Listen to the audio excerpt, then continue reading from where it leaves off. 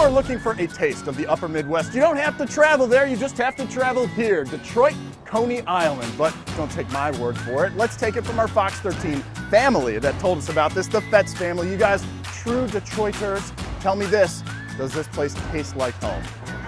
Absolutely. Yes, yes. yes, yes. Everyone says yes. Well, let's try this Michigander meal for ourselves, shall we? Let's do it. Tell me about finding Detroit Coney Island. We moved to Florida about nine years ago, missing a little piece of home. Or we heard it through a friend. She contacted me and said, hey, I've got a friend that moved down there and opened up Detroit Coney Island. You have to go try it. For those that are completely unfamiliar with Detroit food or Michigan food, what does that consist of? Polish food, you have Greek food, you have Italian. So it's just a gabosh of everything that is like home. I'm gonna have the Elias Big Boy Burger. So what are we doing? So we're gonna we're gonna do the uh, the Coney dog. I think we'll do a Faygo Rock and Rye. And uh, let's go with a bag of Better Made. Did you grow up in Michigan? Yes, all of my life. All of your life. We've been very happy down here, and to find Detroit Coney Island having that home, um, there's no really reason to go back when you miss the food because we can just drive here. As you go to a Tigers game, you go to a Lions game, you're in the downtown atmosphere.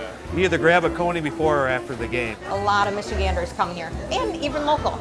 Faygo Rock and Rye. Yep.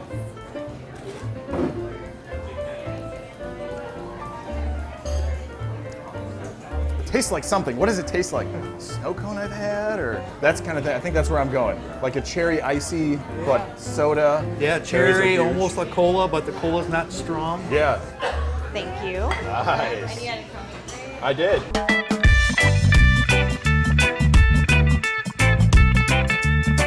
The family that eats Coney dogs together stays together. That's right.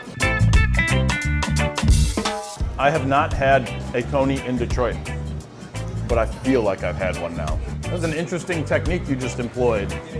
You did a, he did a bite of the toppings and then went for a separate bite of the actual hot dog. But sometimes it's hard to manage all in one bite. Some people employ the fork and knife. I like your technique. I also like hers. That's, that's really interesting what's happening over there. Just pushing that dog out of the bun. Meanwhile, Vaughn's is basically gone. That's a teenage boy. That's a teenage boy. Coney consumption is complete. But Dave, that is not the end to our meal as I Absolutely understand. not. You, you must always save room for the final dessert. Ooh, look at that thing. What makes this so Michigan special? Well, I think it starts at the top, right? It's, it's the fudge. So another Michigan company, and then you have, of course, the homemade cream puff, and then probably the Stroh's vanilla ice cream in the middle. This is a Detroit dessert. That fudge. The fudge. That, it's the fudge. wow. All right, Michigan.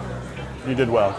Well, for the Fetz family, Detroit Coney Island is truly a taste of home, and that's why they say it deserves to be a Bay Area best. Michelle, Dave, Delana, Vaughn, thank you so much for introducing us to this place. Our pleasure. Thank you. Thank you. Poor Chris is over here like salivating. that's- if you, yeah, I killing me. know it's killing you, isn't it? If you'd like to check out Detroit Coney Island, the information is right there on your screen. It's in Palm Harbor, open every day but Monday. And if you know a great restaurant you'd like Chip to check out, send him an email. Chiptips at foxtv.com.